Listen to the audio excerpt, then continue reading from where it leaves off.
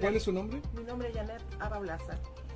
Eh, salí con mi hija chica y del sector de la Villa Olímpica al final y ya saliendo del estadio yo me desmayé, me dio una crisis, yo me empecé a llorar y, y caí.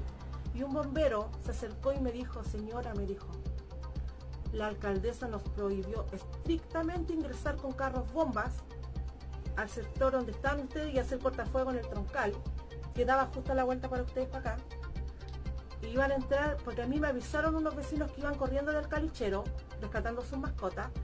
Eh, vecina, viene el carro bomba en camino y nos va a hacer cortafuego acá. Yo creo que si hubiese habido cortafuego mi casa no se quema y a lo mejor muchas de las de ustedes tampoco. Pero me dijo claramente el bombero, vecina, la, o sea, señora, la alcaldesa no nos dejó ingresar y que se quemara todo nomás, que dejaran tal como estaba. ¿La alcaldesa qué comuna corresponde? De Quilpué, la Valeria Melipillán.